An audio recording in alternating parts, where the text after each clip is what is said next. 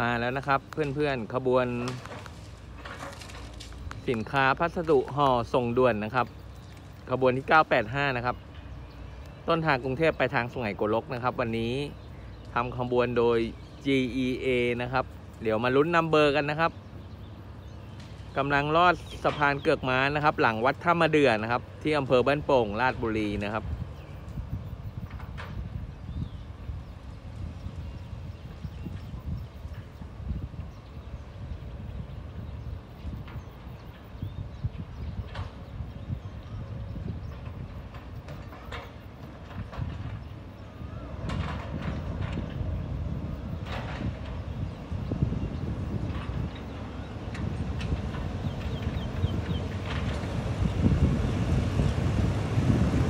GEA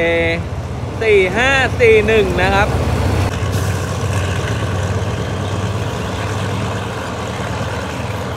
นี่นะครับ GEA 4541 นะครับทำขบวนสินค้าพัสดุห่อส่งด่วนนะครับ ผ่านลอดสะพานเกือกม้าบริเวณหลังวัดท่ามะเดือนะครับอำเภอบ้านโป่ง จังหวัดราชบุรีนะครับ